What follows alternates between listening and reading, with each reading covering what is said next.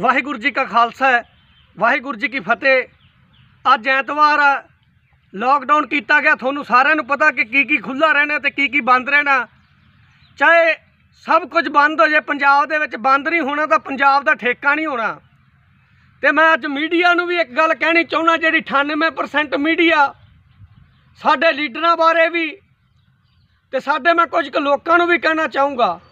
ਕਿ ਤੁਹਾਡੇ ਪੈਰੋਂ ਹੁੰਦੀਆਂ ਜਿੰਨੀਆਂ ਹੁੰਦੀਆਂ। ਹੁਣ ਪਹਿਲਾ ਨੰਬਰ ਤਾਂ ਮੈਂ ਗੱਲ ਕਹਿਣੀ ਚਾਹੂੰਗਾ ਕੈਪਟਨ ਸਾਹਿਬ ਨੂੰ।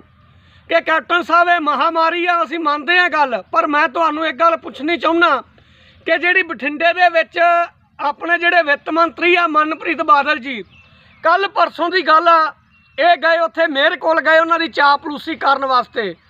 ਤੇ ਉੱਥੇ ਚਾਪਲੂਸੀ ਕਰਨ ਗਏ, ਉੱਥੇ ਲਗਭਗ ਜਿਹੜੇ 50 ਚੈਨਲ ਜਿਹੜੇ ਉਹ ਵੀਡੀਓ ਬਣਾ ਰਹੇ ਸੀ, ਤੇ ਉੱਥੇ ਲਗਭਗ 50% ਬੰਦਿਆਂ ਦੇ ਮਾਸਕ ਨਹੀਂ ਲੱਗਿਆ ਸੀਗਾ। ਤੇ ਜਿਹੜੀ ਸਾਡੀ ਮੀਡੀਆ ਸੀ, ਉਹ ਮੀਡੀਆ ਉੱਥੇ ਚੁੱਪ ਕਰਕੇ ਐਂ ਕੈਮਰੇ ਲੈ ਲੈ ਖੜੀ ਆ, ਆਪਦੇ ਮੈਕ ਉਹਨਾਂ ਦੇ ਹੱਥਾਂ 'ਚ ਆ।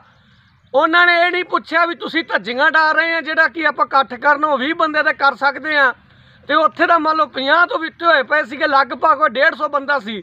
ਜਦ ਤੁਹਾਨੂੰ ਪਤਾ ਹੀ ਹੈ, ਜਦੋਂ ਮ- 50 ਘੱਟੋ ਘੱਟ 100 ਪੁਲਿਸ ਵਾਲਾ ਹੀ ਆ ਜਾਂਦਾ, ਜਦੋਂ ਕਿਸੇ ਮੰਤਰੀ ਨੇ ਆਉਣਾ ਹੋਵੇ। ਇਹ ਗੱਲ ਤਾਂ ਤੁਸੀਂ ਮੰਨਦੇ ਹੋ। ਉੱਥੇ ਇਕੱਠ ਹੋਇਆ ਜਦੋਂ ਮੇਅਰ ਦੇ ਵਿੱਚ ਗਏ, ਮੇਅਰ ਦਾ ਜਦੋਂ ਚਾਪਲੂਸੀ ਕਰਨ ਗਏ।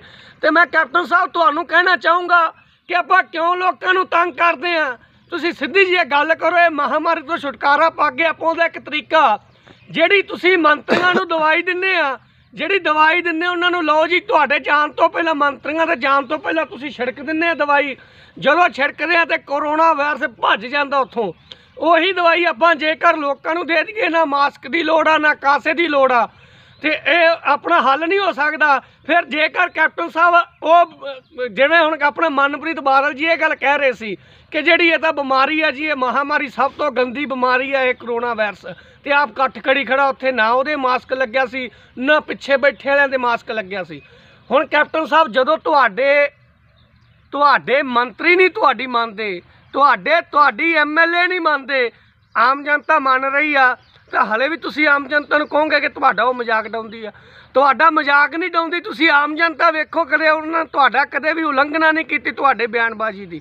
ਕਦੇ ਵੀ ਤੁਹਾਡੇ ਹੁਕਮ ਦੀ ਉਲੰਘਣਾ ਨਹੀਂ ਕੀਤੀ। ਪਰ ਤੁਹਾਡੇ ਆਪ ਦੇ ਜਿਵੇਂ ਕਹਿ ਦਿੰਦੇ ਨਾ ਹਮੋ ਤੋਂ ਆਪਣੋਂ ਨੇ ਲੁੱਟਾ ਗਹਿਰੋਂ ਮੈਂ ਕਹਾ ਦਮ ਥਾ ਹਮਾਰੀ ਕਿਸ਼ਤੀ ਵਾਂ ਡੁੱਬੀ ਜਾਂ ਪਾਣੀ ਕੰਮ ਥਾ। ਤੇ ਤੁਹਾਡੇ ਜਿੱਥੇ ਆ, ਤੁਹਾਡੀ ਕਿਸ਼ਤੀ ਡੁੱਬਦੀ ਮਨਪ੍ਰੀਤ ਬਾਦਲ ਦੇ ਕੋਲ ਆ ਕੇ। ਤੇ ਜੇਕਰ ਤੁਸੀਂ ਗੱਲ ਇੱਕ ਸਾਫ਼ ਜੀ ਗੱਲ ਹੈ ਕੈਪਟਨ ਸਾਹਿਬ ਜਾਂ ਤਾਂ ਵਿਕਤਰਾ ਸਾਰਿਆਂ ਨਾਲ ਕਰੋ ਜਿਨ੍ਹਾਂ ਬੰਦਿਆਂ ਦੀ ਲੱਖਾਂ ਰੁਪਈਆ ਤਨਖਾਹ ਉਹਨਾਂ ਨੂੰ ਤੁਸੀਂ ਜਾਣ ਤੋਂ ਨਹੀਂ ਰੋਕਦੇ। ਹਾਲਾਂਕਿ ਉਹਨਾਂ ਨੂੰ ਬਾਉਣਾ ਚਾਹੀਦਾ, ਘਰੇ ਵੀ ਤੁਸੀਂ ਘਰੇ ਬੈਠੇ ਹੋ, ਤੁਹਾਨੂੰ ਤਾਂ ਘਰੇ ਸਭ ਕੁਝ ਮਿਲ ਜਾਣਾ। ਉਹ ਜਿਹੜਾ 300 ਵਾਲਾ ਮਜ਼ਦੂਰ ਆ, ਜਿਨੇ ਅੱਜ ਰੇੜੀਆਂ ਲਾਉਣੀਆਂ ਸੀ, ਅੱਜ ਉਹ ਅੱਜ ਰੋਟੀ ਕਿੱਥੋਂ ਖਾਊਗਾ? ਕੈਪਟਨ ਸਾਹਿਬ, ਤੁਸੀਂ ਦਿਓਗੇ ਰੋਟੀ? ਤੁਹਾਡੇ ਕੋਲ ਤਾਂ, ਤੁਹਾਡੇ ਤਾਂ ਪੀਪੇ 'ਚ ਕੁਝ ਨਹੀਂ ਹੁੰਦਾ। ਜਦੋਂ ਮੰਤਰੀਆਂ ਨੇ ਗੱਡੀਆਂ ਲੈਣੀਆਂ ਹੁੰਦੀਆਂ, ਉਦੋਂ ਸਭ ਕੁਝ ਹੁੰਦਾ। ਤੇ ਨਾਲੇ ਜਿਹੜਾ ਪੀਪਾ ਖਾਲੀ ਕੀਤਾ, ਜਿਹੜਾ ਕਹਿੰਦੇ ਨੇ ਖਜ਼ਾਨਾ ਖਾਲੀ ਆ, ਉਹ ਪੰਜਾਬ ਦੇ ਲੋਕਾਂ ਨੇ ਤਾਂ ਨਹੀਂ ਕੀਤਾ ਨਾ। ਉਹ ਖਜ਼ਾਨਾ ਖਾਲੀ ਕਰਨ ਵਾਲੇ ਸਾਡੇ ਮੰਤਰੀ ਆ।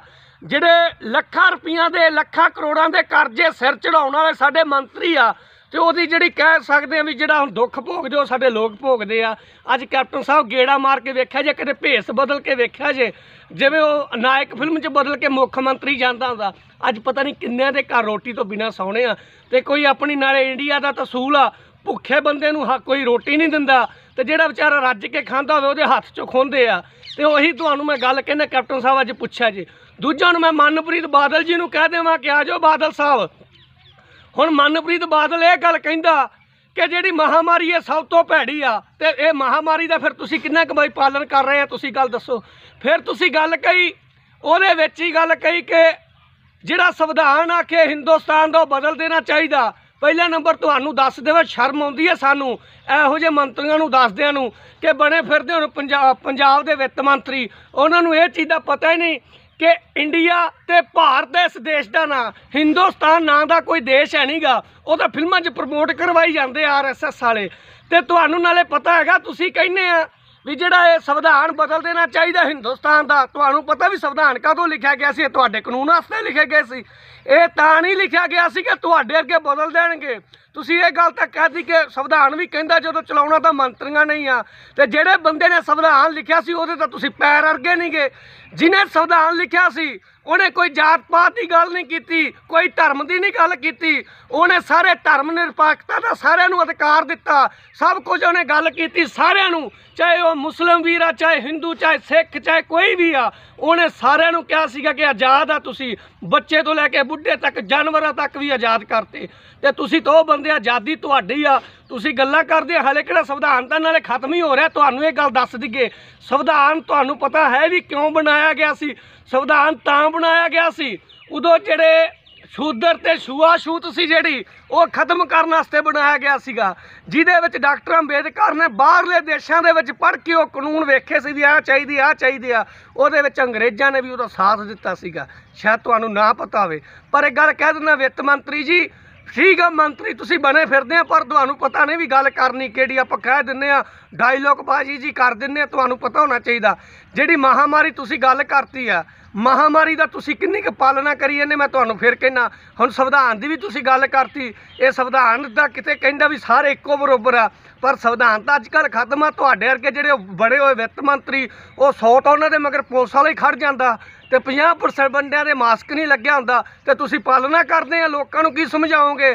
ਅਖੇ ਭਾਈਆ ਸਾਹਿਬ ਅਖੇ ਤੁਹਾਡੇ ਮੰਜੇ ਥੱਲੇ ਸੱਪ ਆ, ਉਹ ਕਹਿੰਦਾ, ਭਾਈ ਸਾਹਿਬ, ਮੇਰੇ ਥੱਲੇ ਤਾਂ ਸਪੋਲ ਆਉਣਾ ਤੇਰੇ ਤਾਂ ਛੇ ਛੇ ਨਾਗ ਬੈਠਾ। ਪਹਿਲਾਂ ਆਪਦੇ ਮੰਜੇ ਥੱਲੇ ਸੋਟੀ ਮਾਰ, ਮਨਪ੍ਰੀਤ ਬਾਦਲ, ਆਪਦੇ ਮੰਜੇ ਥੱਲੇ ਸੋਟੀ ਮਾਰ। ਇਹ ਆ ਜੀ ਸਾਡੇ ਮੰਤਰੀ ਚੈੱਕ ਕਰ ਲਓ ਪਹਿਲਾਂ। ਆਮ ਜਨਤਾ ਨੂੰ ਰੋਟੀ ਤੋਂ ਜਿਹੜੀ ਭੁੱਖੀ ਮਾਰਦੀ ਉਹਨਾਂ ਦੇ ਕਾਨੂੰਨ ਲਾਗੂ। ਉਹ ਜਿਨ੍ਹਾਂ ਨੂੰ ਲੱਖਾਂ ਰੁਪਈਆ ਪੈਨਸ਼ਨਾਂ ਹੁੰਦੀਆਂ ਜਿਨ੍ਹਾਂ ਦੀਆਂ ਸੌਆ ਜਿਨ੍ਹਾਂ ਦੀਆਂ ਲਗਭਗ 100 ਤੋਂ ਕਰੀਬ ਜਿਹੜੇ ਕਿੱਲੇ ਹੁੰਦੇ ਪੈਲੀ ਦੇ, ਉਹਨਾਂ ਤੇ ਕੋਈ ਇਹ ਕਾਨੂੰਨ ਲਾਗੂ ਨਹੀਂ ਹੁੰਦੇ। ਵਾਹ ਜੀ ਵਾਹ, ਕਿਆ ਗੱਲਬਾਤ ਹੈ, ਜਿਹੜੇ ਸਾਡੇ ਮੰਤਰੀਆਂ ਨੇ ਤੇ ਨਹੀਂ ਲਾਗੂ ਹੁੰਦੇ, ਤੇ ਗਰੀਬ ਤੇ ਲਾਗੂ ਹੁੰਦੇ ਜਿਹੜਾ ਵਿਚਾਰਾ ਸਬਜ਼ੀ ਵੇਚ ਕੇ ਜਿਹਨੇ ਰੋਟੀ ਖਾਣੀ ਹੁੰਦੀ ਆ। ਅੱਜ ਕੜੁੱਕਿਆਂ ਵਾਲਿਆਂ ਨੂੰ ਬਾਹਰ ਨਹੀਂ ਨਿਕਲ ਦੇਣਾ। ਹੁਣ ਗੱਲ ਆ ਗਈ ਪੁਲਿਸ ਦੀ। ਪੁਲਿਸ ਵਾਲਿਆਂ ਨੂੰ ਮੈਂ ਕਹਿਣਾ ਚਾਹੁੰਦਾ, ਜਿਹੜੇ 90% ਬੰਦੇ ਆ, ਹੁਣ ਇਹ ਪੁਲਿਸ ਵਾਲਿਆਂ ਨੂੰ ਕਹਾਂਗਾ, ਵੀਰ ਮੇਰੇ ਗੱਲ ਸੁਣੋ। ਜਦੋਂ ਤਾਂ ਕੋਈ ਆਮ ਬੰਦੇ ਦੇ ਇੱਕ ਜਲੰਧਰ ਦੇ ਵਿੱਚ ਨਿਊਜ਼ ਦੱਸੀ ਜਾਂਦੀ ਸੀ, ਕਿਸੇ ਨੇ ਵਿਆਹ ਸੀਗਾ ਤੇ ਵਿਆਹ ਤੋਂ 20 ਤੋਂ ਬੰਦਿਆਂ ਤੋਂ ਜ਼ਿਆਦਾ ਇਕੱਠ ਹੋ ਗਿਆ ਜਿੰਨਾ ਦੱਸਿਆ ਸੀਗਾ। ਪੁਲਿਸ ਵਾਲਿਆਂ ਨੇ ਆਰਕੈਸਟਰਾ ਵਾਲਿਆਂ ਨੂੰ ਵੀ ਚੱਕ ਲਿਆ ਤੇ ਉੱਥੇ ਲਾਠੀ ਚਾਰਜ ਵੀ ਕੀਤਾ ਤੇ ਬਠਿੰਡੇ ਦੇ ਵਿੱਚ ਵੀ ਤੁਹਾਡੇ ਭਾਈਚਾਰੇ ਸੀਗੇ ਤੇ ਤੁਹਾਨੂੰ ਜਦੋਂ ਕੋਈ ਮੰਤਰੀ ਆਉਂਦਾ, ਉਦੋਂ ਤੁਹਾਡੇ ਡੰਡੇ ਡਿੱਗ ਪੈਂਦੇ ਜਾਂ ਟੁੱਟ ਜਾਂਦੇ ਆ। ਇਹ ਤੁਹਾਨੂੰ ਪੁੱਛਦਾ ਯਾਰ ਕਮਾਲ ਦੀ ਗੱਲ ਹੈ ਯਾਰ। ਆਮ ਲੋਕਾਂ ਨੂੰ ਤੰਗ ਕਰੀ ਜਾਂਦੇ ਆ। ਜਦੋਂ ਤੁਹਾਡੇ ਮੰਤਰੀ ਆਉਂਦੇ ਉਹਨਾਂ ਦੇ ਨਾਲ ਤੁਸੀਂ ਤੁਰਦੇ ਆ। ਹੈ ਕੋਈ ਮਾੜੀ ਮੋਟੀ ਸ਼ਰਮ ਕੇ ਨਹੀਂ ਹੈਗੀ? ਸਚਾਈ ਆ ਵੀਰ ਮੇਰੇ ਉਹ ਸਚਾਈ ਹੈ ਮੈਂ 90% ਵਾਲਿਆਂ ਨੂੰ ਕਹਿ ਰਿਹਾ। 10% ਵਾਲੇ ਪੁਲਿਸ ਬੜੇ, ਜਿਹੜੇ ਜਾਗਰੂਕਤੀ ਵਾਲੇ, ਮੈਂ ਉਹਨਾਂ ਨੂੰ ਨਹੀਂ ਕਹਿੰਦਾ। ਤੇ ਹੁਣ ਫਿਰ ਤੁਹਾਨੂੰ ਦੱਸੀਏ ਕਿ, ਦੂਜਾ ਹੁਣ ਤੀਜਾ, ਚੌਥਾ ਨੰਬਰ ਆ ਗਿਆ ਮੀਡੀਆ ਦਾ। ਵਾਹ, ਤੁਹਾਡਾ ਵਾਹ ਕੀ ਬਾਤ ਆ ਤੁਹਾਡੀ। 98% ਚੈਨਲ ਵਾਲੇ ਤੁਹਾਡਾ ਵੀ ਬੇੜਾ ਬੈਣਾ ਸ਼ਰਮ ਕਰੋ ਮੀਡੀਆ ਵਾਲਿਓ, ਸ਼ਰਮ ਕਰੋ। ਸਿਰਫ ਇੱਕ ਚੈਨਲ ਸੀ, ਮੈਂ ਵੇਖੀ ਗਿਆ ਪ੍ਰਾਈਮ ਮੂਡੇ। ਜਿਨ੍ਹਾਂ ਨੇ ਵਿੱਤ ਮੰਤਰੀ ਦੀ ਜਦੋਂ ਮੀਟਿੰਗ ਹੋਈ ਆ, ਉਹਨਾਂ ਨੇ ਉੱਤੇ ਲਿਖਿਆ ਸੀ, ਕਹਿੰਦੇ ਜੀ ਆਪ ਵੇਖ ਲਓ ਕਹਿੰਦੇ ਕਿੰਨੀ ਕੁ ਮੰਨ ਰਹੇ ਆ। ਪ੍ਰਾਈਮ ਮੂਡੇ ਵਾਲਿਆਂ ਨੇ ਉੱਤੇ ਲਿਖਿਆ ਸੀਗਾ, ਤੁਹਾਡੇ ਨਾਲ ਉਹ ਚੈਨਲ ਚੰਗਾ। ਵਾਕਈ ਯਾਰ, ਕਿਆ ਚੈਨਲ ਆ? ਉਹਨੇ ਲਿਖਿਆ ਕਿ ਅੱਜ ਮਨਪ੍ਰੀਤ ਬਾਦਲ ਬਾਰੇ ਕਰੋਨਾ ਵਾਇਰਸ ਕਿੱਥੇ ਗਿਆ? ਇਹ ਵੀ ਇਕੱਠ ਕਰੀ ਬੈਠਾ। ਤੇ ਕਦੇ ਉਹ ਸੰਵਿਧਾਨ ਬਦਲਦਾ? ਸੰਵਿਧਾਨ ਦਾ ਤੁਹਾਨੂੰ ਪਤਾ ਨਹੀਂ ਵੀ ਕਿਉਂ ਲਿਖਿਆ ਸੀ, ਕਿਉਂ ਨਹੀਂ ਲਿਖਿਆ। ਸੰਵਿਧਾਨ ਦਾ ਪਹਿਲਾਂ ਪਤਾ ਪੂਰਾ ਪਤਾ ਕਰੋ ਕਿਉਂ ਕਿਹਾ ਤੇ ਮੀਡੀਆ ਵਾਲਿਆਂ ਨੂੰ ਕਹਿਣਾ ਚਾਹੁੰਦਾ ਕਿ ਜਿਹੜੇ ਮੰਤਰੀ ਉਹ ਲੋਕਾਂ ਦਾ ਖੂਨ ਪੀਂਦੇ ਆ। ਤੇ ਤੁਹਾਡੇ ਵੀ ਬੱਚਿਆਂ ਨੂੰ ਨਾ ਤੁਹਾ ਜਵਾਬ ਨਹੀਂ ਆਉਣਾ। ਤੇ ਤੁਸੀਂ ਕਹਿੰਦੇ ਮੇਰੇ ਸੁਣ- ਪੰਜਾਬੀ ਚ ਸੁਣ ਲਓ ਜਿਹੜੇ ਮੀਡੀਆ ਵਾਲੇ ਆ। ਆਮ ਲੋਕਾਂ ਦੀ ਤੁਸੀਂ ਗੱਲ ਨਹੀਂ ਕਰਦੇ। ਤੇ ਜਿਹੜਾ ਕੋਈ ਮੰਨ ਲਓ ਰਾਹ 'ਚ ਵਿਖਾਈ ਜਾਂਦਾ ਜੀ, ਫਲਾਨਾ ਸਾਈਕਲ ਚਲਾਉਂਦਾ ਜੀ ਫਲਾਨਾ ਇਹ ਕਰਦਾ ਜੀ, ਮੰਤਰੀ ਆਇਆ, ਉੱਥੇ ਤੁਸੀਂ ਸਵਾਲ ਨਹੀਂ ਪੁੱਛਦੇ ਆ। ਆ ਕੱਲ ਪਰਸੋਂ ਦੀ ਗੱਲ ਆ, ਉੱਥੇ ਪੁਲਿਸ ਵਾਲੇ ਨੇ ਇੱਕ ਮੁੰਡੇ ਦੇ ਚਪੇੜਾ ਮਾਰਿਆ, ਉਹ ਕਹਿੰਦਾ ਮਾਸਕ ਨਹੀਂ ਲੱਗਿਆ। ਤੇ ਪੱਤਰਕਾਰ, ਤੁਹਾਨੂੰ ਪਤਾ ਨਹੀਂ ਜੀ, ਮਹਾਮਾਰੀ ਮਾਰ ਰਹੀ ਆ। ਤੁਹਾਨੂੰ ਪਤਾ ਨਹੀਂ ਮਾਸਕ ਕਿੱਥੇ ਆ। ਮਨਪ੍ਰੀਤ ਬਾਦਲ ਦੀ ਰੈਲੀ ਤੁਸੀਂ ਫਿਰਦੇ ਸੀਗੇ ਉੱਥੇ ਨਹੀਂ ਪੁੱਛਿਆ ਤੁਸੀਂ ਵੀ ਕਿੱਥੇ ਆ ਮਾਸਕ ਤੁਹਾਡਾ। ਸ਼ਰਮ ਕਰਿਆ ਕਰੋ ਤੁਸੀਂ ਕੁੱਤੇ ਤੁ- ਤੁਸੀਂ ਵੀ ਨਾ ਕਹਿ ਲਓ ਹੁਣ ਤੁਹਾਡੇ ਵੀ ਪਟੇ ਪਏ ਖੜੇ ਆ।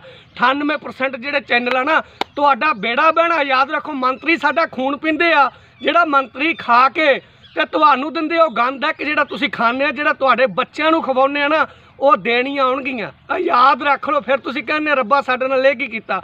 ਆਪਦੇ ਆਪ ਨੂੰ ਸਿਆਣੇ ਕਹਿੰਦੇ ਆ। ਚਾਰੇ ਚੀਜ਼ਾਂ ਜਿਹੜੀਆਂ ਨੇ ਸਾਨੂੰ ਬਚਾਉਣਾ ਸੀ। ਮੰਤਰੀ, ਪੁਲਿਸ ਵਾਲੇ, ਜਿਹੜਾ ਪੁਲਿਸ ਪ੍ਰਸ਼ਾਸਨ ਆ ਗਿਆ ਤੇ ਸਾਡੀ ਮੀਡੀਆ, ਸਾਡੇ ਲੋਕ ਆ ਗਏ, ਲੋਕ ਸਾਡੇ ਜਿਹੜੇ ਆਵਾਜ਼ ਨਹੀਂ ਚੱਕਦੇ। ਚਾਰੇ ਹੀ ਮਰੇ ਪਏ ਆ। ਚਾਰੇ ਹੀ ਮਰੇ ਪਏ, ਪੱਲੇ ਹੀ ਕੱਖ ਨਹੀਂ ਤੁਹਾਡੇ। ਤੇ ਆ ਮੀਡੀਆ ਦੀ ਚੌਥਾ ਥੰਮ ਕਹਿੰਦੇ ਆਪਦੇ ਆਪ ਨੂੰ ਉਹਦੇ ਵੱਡੇ ਤੁਸੀਂ ਰਿਪੋਰਟਰ ਬਣਦੇ ਹੁੰਦੇ ਆ, ਤੁਹਾਨੂੰ ਸ਼ਰਮ ਆਉਣੀ ਚਾਹੀਦੀ ਆ। ਕਦੇ ਕਲਾਕਾਰਾਂ ਦੇ ਉੱਤੇ ਚੜ ਕੇ ਆਪਾਂ ਫੁੱਲ ਹਿਲ ਹਿਲ ਮੰਤਰੀਆਂ ਨੂੰ ਸਵਾਲ ਪੁੱਛੋ, ਤੁਹਾਡਾ ਕੰਮ ਆ ਮੰਤਰੀਆਂ ਨੂੰ ਸਵਾਲ ਪੁੱਛਣਾ। ਇੱਕ ਉਹ ਕੁੜੀ ਪੁੱਛਦੀ ਹੁੰਦੀ ਨਾ, ਬੀਜੇਪੀ ਦੀ ਜੇ, ਬੀਜੇਪੀ ਵਾਲੀ ਬੀਜੇਪੀ ਵਾਲੇ ਮੰਤਰੀਆਂ ਨੂੰ ਸਵਾਲ। ਕੱਢਦੀ ਨਾ ਵੱਟ, ਉਹਨੂੰ ਕਹਿੰਦੇ ਆ ਪੱਤਰਕਾਰੀ। ਤੁਹਾਡੇ ਤਰ੍ਹਾਂ ਚਾਪਲੂਸੀ ਨਹੀਂ ਇਹ ਹੁੰਦੀ ਆ ਕਹਿ ਲਓ ਵੀ, ਜਿਵੇਂ ਕਹਿ ਲਓ ਵੀ ਰੋਟੀ ਸਿੱਟੀ। ਵਾਉ ਵਾਉ ਵਾਉ ਉਹ ਕੰਮ ਨਹੀਂ ਚਾਹੀਦਾ ਸਾਨੂੰ। ਬੇਸ਼ੱਕ ਦੀ ਗੋਲੀ ਮਰਵਾ ਦਿਓ, ਪਰ ਮੈਂ ਮੀਡੀਆ ਨੂੰ ਕਹਿਣਾ ਮੰਤਰੀ ਕੰਮ ਸਹੀ ਨਹੀਂ ਕਰਦੇ। ਪੁਲਿਸ ਪ੍ਰਸ਼ਾਸਨ ਨਹੀਂ ਕਰਦੇ, ਪਰ ਤੁਸੀਂ ਤਾਂ ਆਪਦਾ ਕੰਮ ਸਹੀ ਕਰੋ। ਵਾਹਿਗੁਰੂ ਜੀ ਕਾ ਖਾਲਸਾ, ਵਾਹਿਗੁਰੂ ਜੀ ਕੀ ਫਤਿਹ।